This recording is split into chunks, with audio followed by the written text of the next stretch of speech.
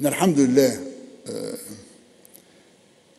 يعني سمعت لي حضرتك أنا عايز أتكلم كلمة يمكن بس عشان حسن بيه عبد الله قاعد بس إن عايزين نحيي يا فندم على قرار بتاع يوم الخميس وهو تحرير ال- ال- العمر. إحنا عارفين هو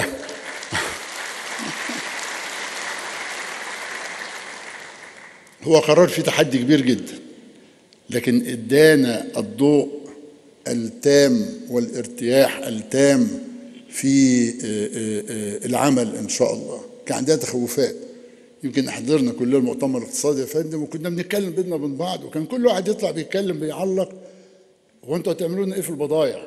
أنتوا هتعملوا لنا إيه في كذا؟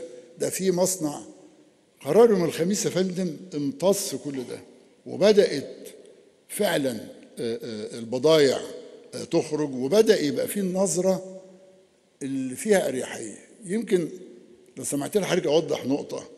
هو السعر اللي حاصل دلوقتي ده ده ما يؤديش إلى زياده السعر نهائي.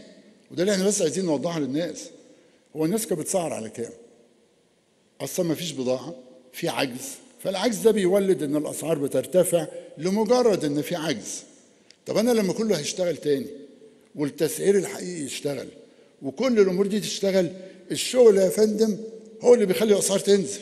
توافر السلع هو اللي بيخليها تنزل. إنما نقص السلع هو اللي بيخليها يؤدي الارتفاع.